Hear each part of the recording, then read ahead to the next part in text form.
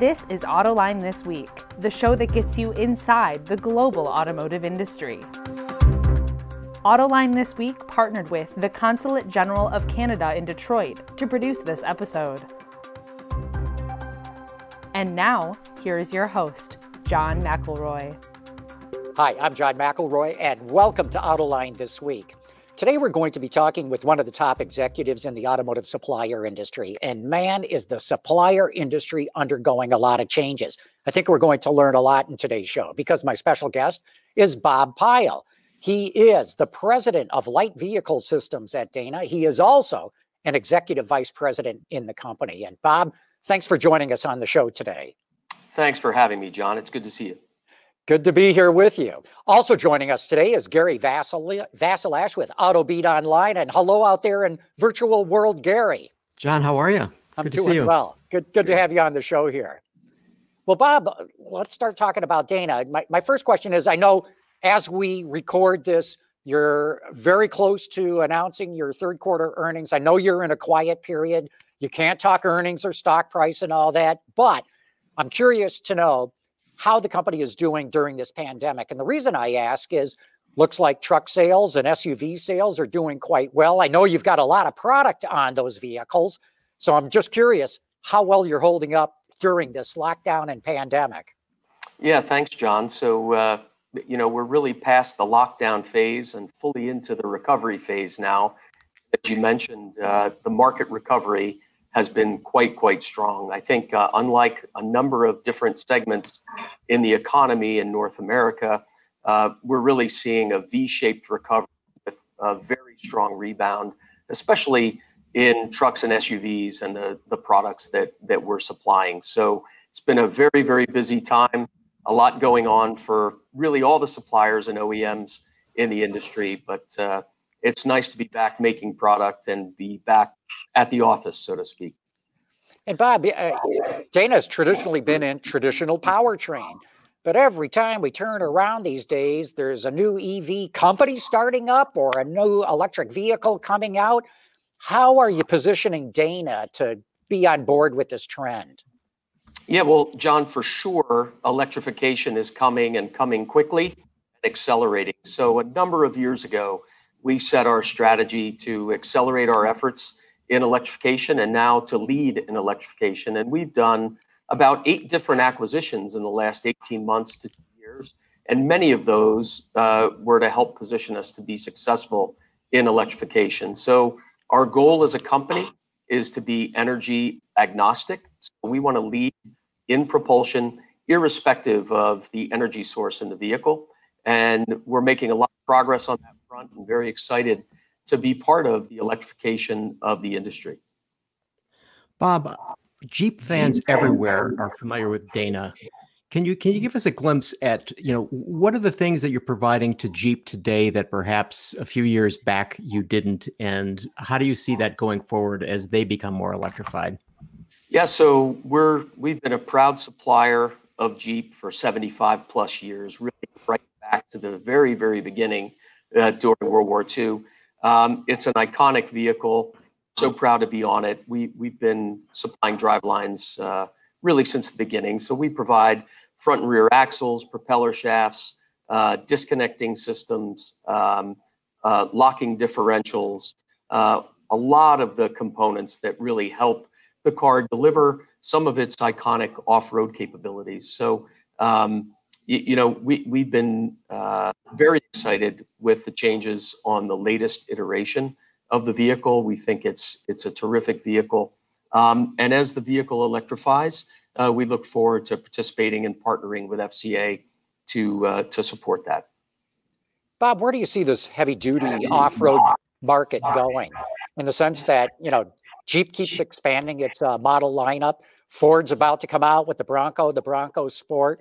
I've got to believe that other automakers are looking at playing in that space. Uh, does that present new opportunity for Dana, or does that just bring your competitors in with them? Yeah, for sure, John. I mean, uh, we see growth in the overall SUV market being very, very strong. This is a market, for example, in North America, that the, the whole segment has been expanding. We think it will continue to expand as, as the Bronco comes into the market. Um, and we see lifestyle vehicles and especially off-roading uh, being a segment that's growing not just in the United States, but growing globally.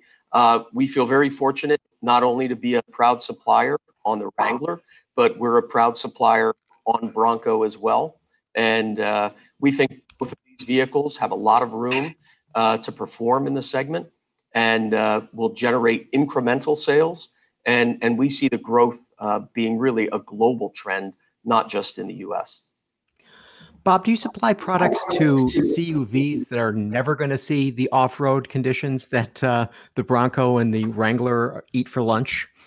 Sure, we do. Uh, we, we, supply uh, all kinds of vehicles. In fact, one of the things that's unique about Dana is, in addition to the light vehicle space that uh, I'm responsible for directly, uh, we participate in commercial vehicles, off-highway vehicles, construction, underground mining, agriculture.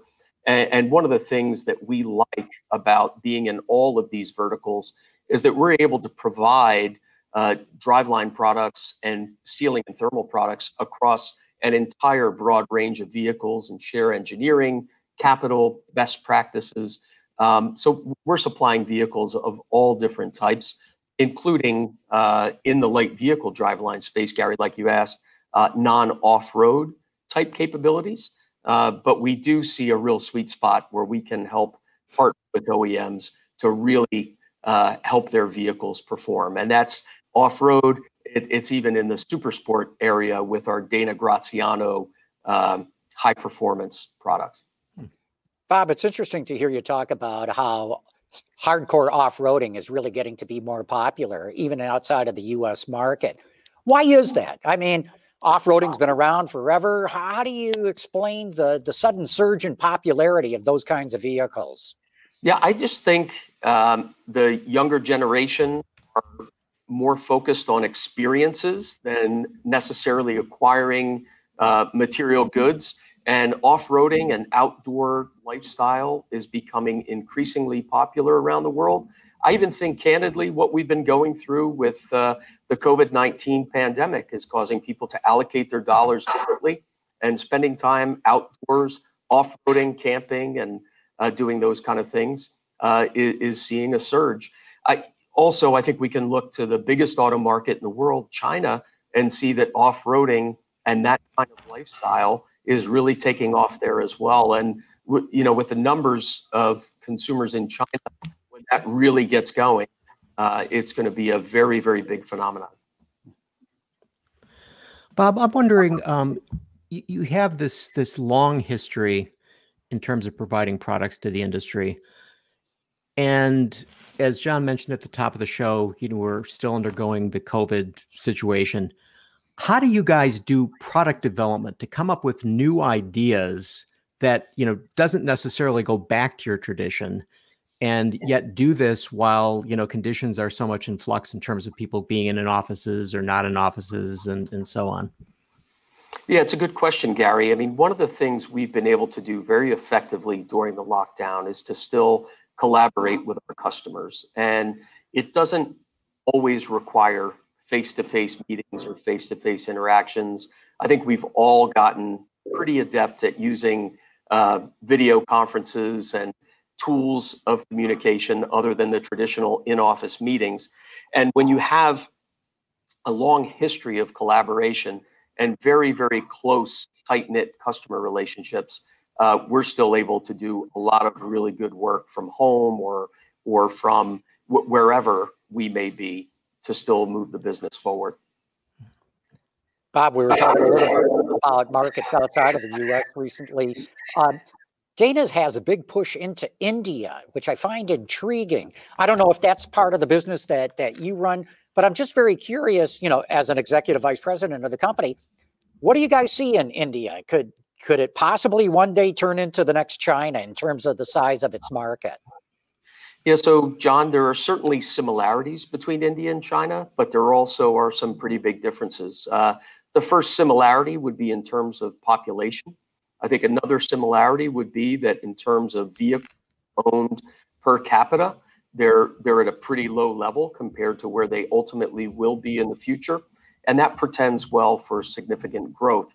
I think one of the differences is that the infrastructure in India is not yet built out at a level like it is in China, and that precludes some level of growth. But we see that as a long-term play uh, that's good for us. And we have all of our businesses within Dana represented. We sell to all the verticals in India, and uh, we, we think that's a good place for us uh, to invest for the long term. Um, when we did some of our acquisitions, they came with pretty significant India assets that we've integrated into the company. And we're now one of the largest tier ones in India and, and very happy to be so. Bob, before taking this job, you actually were um, running Asia Pacific for Dana. Can can you give us a sense of the different auto cultures in in different parts of the world as they compare to what you know we're familiar with in the United States? Are are they similar? Are they different? And if so, how? Yeah, I mean, Asia Pacific is just a huge region. It's really almost hard to fathom uh, the geography and the cultural and, and national differences that exist in that region. But you can imagine, um, you know, you have some pretty big domestic uh, auto industries and pretty big global automakers that come out of Asia Pacific. So you think about the Japanese OEMs and sort of their approach to the global market. You think about the Korean OEMs and how they've grown and become so sophisticated so quickly.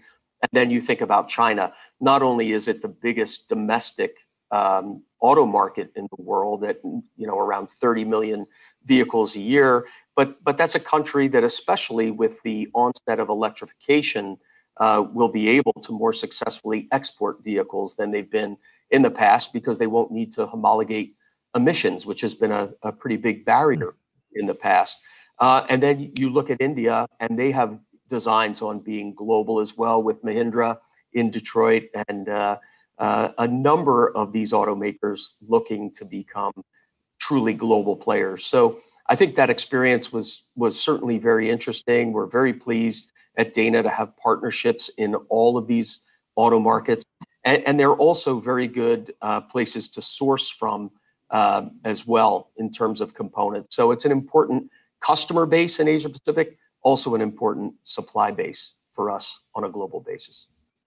Bob, how do you position Dana for this move to electrification in the sense that some automakers, like a General Motors, for example, want to be very vertically integrated, do everything in house or just about.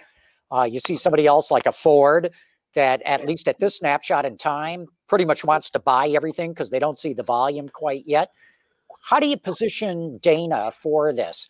And uh, do you provide complete turnkey systems or do you just sort of cherry pick which parts of the market you think are going to be the best? Yeah, John, I think one of the things that's really important in a time of change, this is really significant change. I, I, think you have to be flexible, you have to be agile. And when you set a strategy, um, it, it really needs to have the ability to be adjusted. So, as I alluded to earlier, um, our, our plan is to be energy agnostic. So, whether it's electrification, full, like battery electric vehicles, hybrids, internal combustion, even fuel cells, frankly, we've been involved in for a very long time. In fact, uh, just an interesting aside, real quick. Uh, we were recently going through our archives and found a photo of some of our engineers going back maybe 50 plus years doing work on a battery electric vehicle that had a string of 12 volt batteries in a, in a chassis. So, pr- pretty interesting. Uh, and as you know, John and Gary, uh, when vehicles first came to the fore in, in the United States, a lot of them were electric before they were even internal combustion. So electrification's been around, it's coming back around again. But on a strategic uh, standpoint, we have to be flexible. We know different OEMs are going to have different strategies themselves. Some will do a lot of things in house to, to basically replace what they already do in house today in terms of internal combustion engines and transmission. Others may leverage the supply base more. And in some cases, it'll be a hybrid where they'll do some vehicle electrification in house for certain models and then outsource others. And interestingly, that's not all that dissimilar to what happens today in driveline. There is a mix of players who go to market differently and utilize the supply base differently. And, and we're prepared to work through that by supplying, in some cases, components, in other cases, modules. And in our sweet spot um, with our key customers, we think providing full systems capability with the uh, gearbox, the motor, the inverter, all integrated, plus thermal management, that, that's a real unique value that we can bring to the market. And we can do it not only in the light vehicle space, but in commercial vehicle and in off highway. So that, that's a real differentiator for Dana with the rest of the supply industry. Bob, could you talk a little bit about the competitive landscape as it exists right now? Um, have have there been changes as a result of COVID? Had things been changing going into 2020 when um, we thought that we would begin to see a softening of the um, overall market? Um, what's it like out there on a day to day basis for a guy like you? Yeah, I think the competitive landscape um, changed as far as due to COVID isn't isn't huge. I, I think we're all dealing with the challenges of this big volume bounce back, this V-shaped recovery. And I think that's challenging for, for all the tier ones and, and tier two and three suppliers out there right now, especially if you're on trucks and SUVs. Um, I think a bigger game changer in terms of competitive landscape has been electrification. I think you're seeing some players um, really change their entire focus. Uh, you know, uh, ZF and TRW coming together was a truly transformational acquisition. I think BorgWarner uh, acquiring Delphi would be another example of a major acquisition that kind of repositions those companies. I, I think with us, it's been less transformational and more targeted. We're, you know, sort of uh, sticking to our knit, so to speak, but we've acquired assets that really help us uh, become that energy agnostic supplier that can partner with our customers in different ways depending on how they're electrifying or hybridizing their vehicles and that we can do it across the range like i was alluding to before mm-hmm. we do see uh, different competitors coming into the marketplace uh, playing the electrification game maybe differently than uh, we've seen in the internal combustion engine environment so it's getting more competitive out there, but we're feeling very confident in our ability to to win in in the uh, in the marketplace. Bob, when you talk to uh, OEMs, a lot of talk about data monetization, digital services, and the like. Any role for Dana in that area, or like you said earlier, you stick to your knitting? Yeah, I think there there is a role to be played in in certain cases. I think you know we've we've explored some opportunities in our commercial vehicle business, looking at uh, the ability to collect and monetize data and uh, work with our fleets on specifying uh, certain things like tires and uh, improve the fuel economy and create a value add for fleets. And we're seeing some traction there.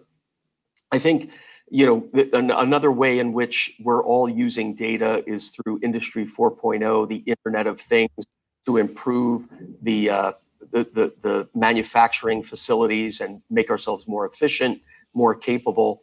So uh, the use of data, big data, and sensors on equipment, sensors on products is something that's that's coming. It's here to stay, and I think there'll be more and more value created in the manufacturing industry as a result of those capabilities.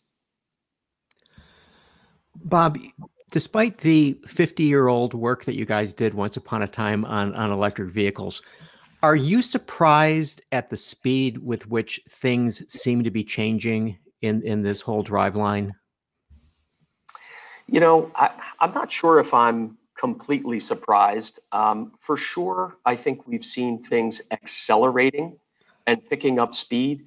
I, I think it's really a combination of things. I think, um, you know, the Dieselgate type issues really help to accelerate. I think the impact on the environment that we're seeing around the world with climate change are causing governments and cities around the world to really think about banning or dramatically reducing um, anything but zero emission vehicles. Even in California, you've seen the recent legislation that suggests by 2035, uh, vehicles that are sold in California need to be zero emissions. Whether that legislation will truly see the light of day or not, it's hard to say. But we do see this confluence of factors happening that is serving to accelerate a move toward electrification. But there are a lot of barriers that will need to be broken um, in order to have that proliferation really, really happen. Um, I think, as an example, infrastructure is still very, very important. Having the right charging stations uh, in all of these places will be key. I think battery technology is going to need to continue to improve, both in terms of cost and in terms of range, in order to have consumers be uh, somewhat indifferent between electrified vehicles and internal combustion vehicles, the way they're used and the way they're priced today. So there's still more wood to chop before we're there, but for sure it's coming and coming quickly. Bob, on the heavy truck side of the business, Dana is working with a startup. I, I think it's pronounced Hyliion. Uh, I don't know if I'm saying it right. I've only read the, the, the name. But what I'm getting at is I got to believe that you've got a lot of startups knocking on your door because of the capabilities that the company has. Is that the case? Are, are you finding new customers running to Dana? Yeah, so John, it's it's Hyliion, and uh, they are a of ours, and we were an, investor in that company as well. Um, and we do see a lot of interest in startups working with hundred plus year old industrial companies with our type of capabilities. Even some big tier ones uh, are looking to us for partnering in in areas of electrification because of our really strong mechanical experience and capabilities and coming together with other companies in you know areas like 48 volts where we've previously announced that we partner with Valeo to go after some of the 48 volt uh, market around the world. And and that's partnerships bearing fruit. And uh, it, it's really interesting to see how the market dynamics are changing and bringing not only new competitors to the fore, new startup customers to the fore, but also some interesting partnerships uh, to approach and support the market as well. And and how do you make a decision whether or not to go with a startup?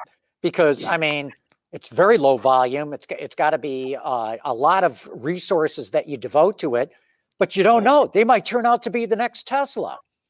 Yeah, that's true. I, I think there has to be a good strategic fit. We have to have a good hypothesis about where the company's headed. Of course, we'll do due diligence on their on their plans and strategies. Uh, but we see a number of companies uh, that are quite innovative, uh, that are worthy of partnership in, in this new environment. And, and I think it, it, helps to have a number of different projects going so that you have a higher chance of, of catching one that really takes off. Hyliion was a good example of one that we felt good about and has, has proven to bear fruit already. Bob, do people from these startups come in and, and see your facility and realize that, gee, manufacturing is hard? Uh, there, there for sure are some differences between the, the startup mindset and the mass industrialization mindset. And I think, candidly speaking, they learn from us, but we learn from them too. So I, I think it's a good symbiotic relationship because, you know, 100 year old companies can use a good dose of entrepreneurship. And I think we've, you know, with our acquisitions, we've, we've certainly been demonstrating uh, our entrepreneurial spirit. And at the same time, we're working with these startups to uh, help them industrialize. So we think it's a good balance. Bob, Gary, and I have been peppering you with all kinds of different questions here. Are we missing anything? Any anything that you know you want to bring out that maybe we hadn't brought up yet in this interview? Well, you know, one thing we only touched on a little bit was, um, you know, the the big news of, of 2020, which was the COVID 19 uh, pandemic. And, you know, I'd be remiss if I didn't say just how proud of our teams uh, around the world, how thankful I am for how they've handled the adversity of an unexpected global pandemic and not only shutting down our our facilities around the world when, when they went into lockdown, but also getting them back up and running and, and the big bounce back and supporting our customers. It's been a tremendous amount of work to keep everybody safe, to get things back to running. And uh, you know, our our first responders, our front line, are the folks in our factories who come to work and make parts every day. And I I really admire and respect the way they've come back and and you know really been dedicated and been on those front lines to make sure that we can keep our industry humming. And it is really humming right now. That's for sure. Well, we can obviously see you're at one of your facilities. We see some operations in the background. Uh, wh- what about your office staff? Are they still working from home or are they coming in? It's a mixed bag. We have we have the ability to come to the office. Uh, we we are still divided up into phased groups, and and we see people uh, back and forth to the office, but we're still limited in our staff in the offices right now. Real good. Well, with that, we're going to have to wrap it up. But Bob Pyle from Dana, thanks so much for coming on. Very interesting what's going on in the entire auto industry. But it's been really impressive for Gary and I to watch the evolution and the transformation of so many suppliers dealing with this change. Well, thanks, John. Thank you, Gary. It's been a pleasure being with you today. Yeah, Gary, always good to have uh, you on board. Love your Thanks, question. John. Thanks, John, and good seeing you, Bob. Thank you. And of course, want to thank all of you for having tuned in. Autoline This Week partnered with the Consulate General of Canada in Detroit to produce this episode.